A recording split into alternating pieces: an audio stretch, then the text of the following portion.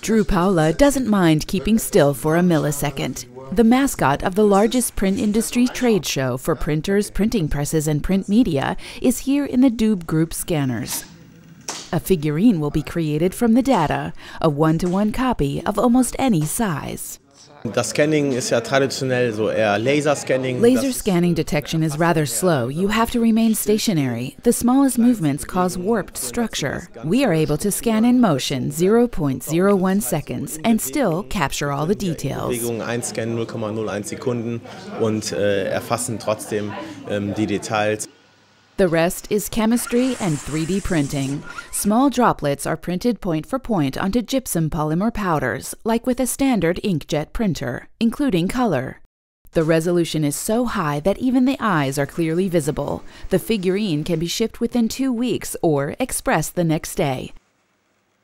The figurines represent what is possible today. The data from the scan offer many more possibilities for tomorrow.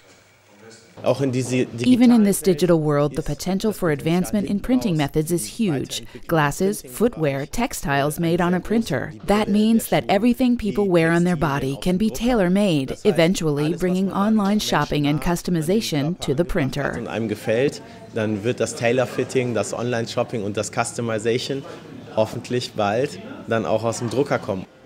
The future of the print industry is the main focus at the world's leading trade fair for print, Drupa in Dusseldorf. Currently of crucial importance to the industry, the fusion of the offline and online worlds in print. Print often acts as a catalyst medium for other communication channels, including content generation and news, and vice versa. Information is often transferred from the digital domain to print. There are great examples of portals that fully committed to digital communication but now want to create a unique experience using print products. And this works out beautifully.